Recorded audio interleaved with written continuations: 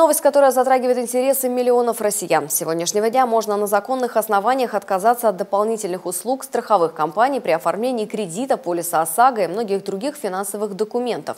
Если, например, человек, заключивший договор с банком, передумал страховать свою жизнь или здоровье, то у него есть пять дней на то, чтобы исключить этот пункт из документов.